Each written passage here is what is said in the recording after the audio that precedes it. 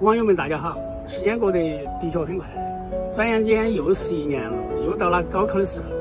嗯，我去年子考试的时候以为就还还还还应该是还会有一个不错的结果，结果呢就大失所望。呃，经过这么一年的努力呢，今年子更加有底气了。